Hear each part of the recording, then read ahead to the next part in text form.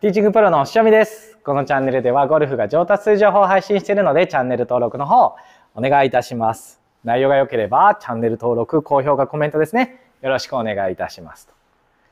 さあ、今日はなぜジュニアゴルファーがスイングが綺麗なのか。もしくは比較的ではあるんですけど男性ゴルファーに比べて女性ゴルファーの方がスイングをきれいに振れるのか。まあこれはちょっと絶対じゃないですけどね。ただ、ジュニアゴルファーっていうのはかなりクラブを扱うのがうまいんですよね。なぜそうなるかについてちょっと今日は詳しく解説をしていきたいと思うので最後までご視聴の方お願いいたします。はい、今日は後ろ側の画像で説明をしていきたいと思います。まず、まあ、さっき言ったジュニアゴルファーの特徴。まあ、一つは体が柔らかいっていうのありますね。これはでも今日のちょっとメインのお話ではないです。柔らかさがあるので、下半身とか体を使っても上半身がぶれずに振り切ることができる。みたいなのは柔軟性があると有利なポイントになります。今日はただ、クラブを扱うのが上手っていうお話なので、これやっぱね、男性のね、まあ、中学生ぐらいになるとそれがちょっと一概に言えないなと思ってるんですが、本当に小学生ぐらいの方、一般の男性に比べて何がないでしょうかって言われたら、すぐまあ皆さんわかりますよね。腕力、筋力がないんです。そう。筋力がないのにヘッドスピードを上げたりとか、円軌道をしっかり作ろうと思えば、効率よく振らないとコントロールなんかできっこないっていうことですよね。もちろん、もっと究極的にドラコン選手並みに飛ばそうと思うと、筋力はものすごく大切だと思いますが、綺麗にクラブを使って振るっていうだけで言うと、筋力は結構実は少ない方が作りやすい。っていうかまあ効率よく振らないといけなくなるっていうことですね。っていうことがすごく差として生まれやすくなっています。もちろんちっちゃいので例えば、まず、うん、神経系が発達しやすいとかね、そういうのはもちろんありますが、この道具、ヘッド重たくて L 字である。で、シャフトが、まあこれちょっとスチールなんでしなりを見せにくいですが、しなります。っていう道具を打つときに、力がある人はどうにでもできちゃうわけですね。例えば、別に僕も力はあるので、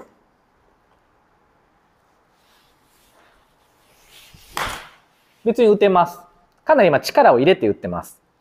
フルショットっぽくやっても、別に打てます。ただ、今のスイングが効率よくクラブを使ってるかって意味で言うと、そうではないのは多分、ゴルフを少し知ってる方だったら分かっていただけるかなと。まあ、効率よくちょっと使う動きを見せたいと思います。こんな感じですね。クラブをしっかりしならせてインから叩いて振っていくっていう形です。さっきの力入れるやつをもう一回やると、まあ打てますよっていう。ただ、効率よく使ってる方で言うと、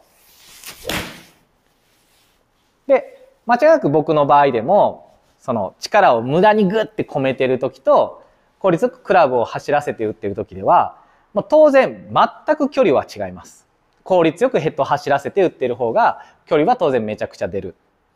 っていうのまあ見た目上わかるかなと思います。ただ、あんまり良くない、まあ特にね、力に結構自信のある男性だと、あの力入れた状態でも一般的な距離より飛んでしまうっていうことがあるんです。そう。で、飛ぶし当たるし。じゃあこれでいいよね。でも、まあこれもレッスンしていてよくありますが、腕力が落ちてくるともう急激に落ちるし、まあ、手でこうやって上げてグッて打っているので、本番でゴルフってなんかね、別にプロみたいにこう何かかかってるわけじゃないですけど緊張したりするじゃないですか。緊張したりした時に大きなミスにつながりやすいっていうのはやっぱりあるんですよね。ということで、ちょっとまとめてお話をすると、腕力で手でこのクラブヘッドをうわうわうわって動かすっていう力は、このクラブをバランスよく振ったり効率よく振るっていうのを習得するにはですよ、あまり良くないということになります。ね。だから、皆さんも聞いたことあるんじゃないですかね。ゆるゆるグリップ。特に僕はその初心者の方から中級者ぐらいの中で言うと、グリップは緩く持つ方がかなりうまく、あうまくなっていく、さっき言った効率よく使えるようになる方が多いなっていう印象はかなり持ってます。少し緩く握りながら、こういうことですね。っていうふうに練習をしていくと、最初かなりお上手になる方が多いかなと思っておりますと。と言ってもですよ。もちろんこれでできる方はこれでいいと思いますよ。ゆるゆる、ゆるグリップにしてボールを打つ練習しましょう。ってことは、腕力をグッて使えないっていう意味ですよね。それはさっき言った今日のメインであるジュニアゴルファーがスイングに綺麗になる、効率よく振る子が多くなるっていう理由に近づいた状態で練習できるので、もちろんいいですが、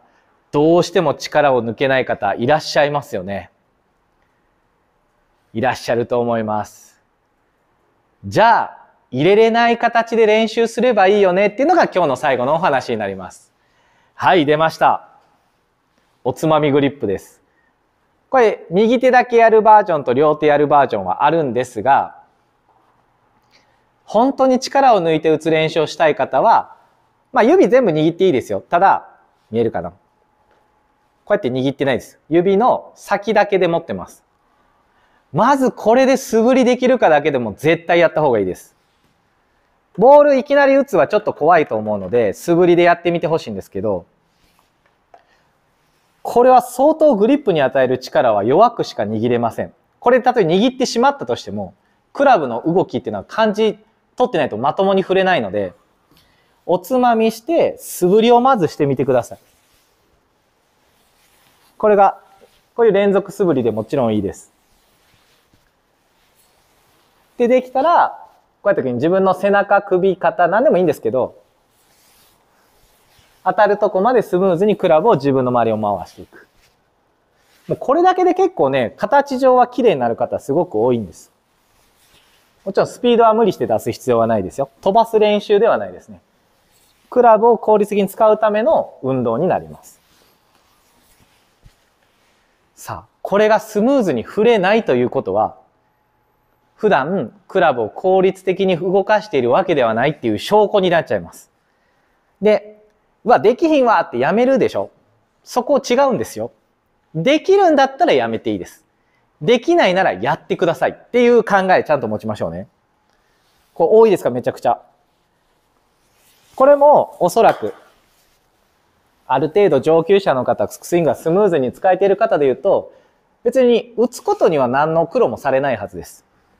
ただ、そこに歪な動きがいっぱい入っている方だと、これをやった瞬間に、も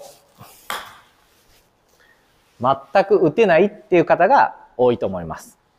ということで、まず、ヘッドを効率よく自分の体の周りを回せているかのチェックで使い、もしできなければ、練習メニューに加えてください。できてる方は正直いらないと思います。ということで今日の内容は以上です。最後までご視聴ありがとうございました。